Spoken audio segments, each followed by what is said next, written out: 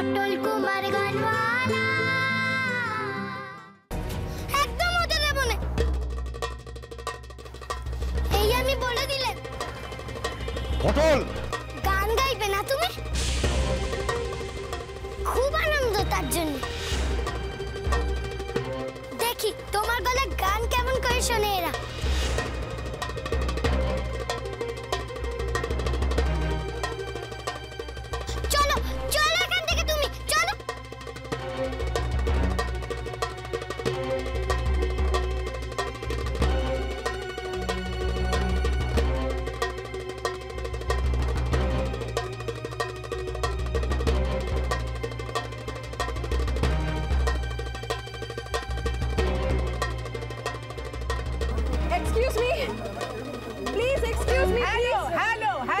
ছোট্ট অ্যানাউন্সমেন্ট করার আছে আপনাদেরকে।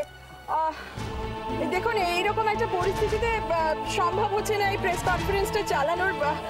আমাদের ক্ষমা করবেন প্লিজ মাফ করবেন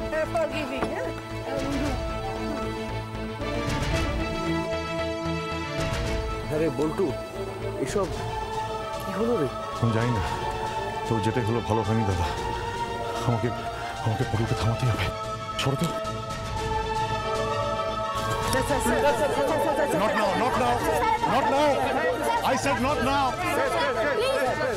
শুনেছি পটল নাকি আপনার অবৈধ সন্তান? ওকে কি সত্যি চাপার হয় স্যার পটল এরকম কেন করল? ও কি দুলুকে হিংসা করে? আমি জানি না। সহ্য করতে না পেরে কি পটল এরকমটা করল? প্লিজ আমি কিছু জানি না। আমি জানি না আমাকে একটু আমাকে একটু যেতে দিন প্লিজ আমাকে জানতে হবে please please please no no no no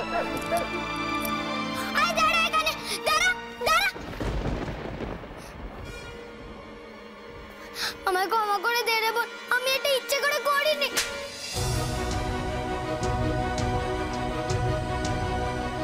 আমাকে বাঁচানোর জন্য জন্ম জন্মেছিস তো? আমি জানি তো সেটা। তাও আমি তোকে মারলাম। কেন? জানতে চাস? আমার ভালো কর আর খারাপ কর। চর তো চরই হয়। তাও আবার তোর মতো একটা অ্যাটেন্ডেন্টের হাতে সবার সামনে। তাই যতক্ষণ না তোকে মারতে পারছিলাম আমার শান্তি হচ্ছিল না। এবার শান্তি। তুই আমার চর মারলি পটল? কেন?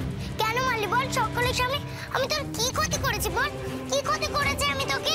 তুলির প্রতি তোর এত হিংসা কবে থেকে হয়েছে পটল? হ্যাঁ? কবে থেকে? বল, উত্তর দে। বল।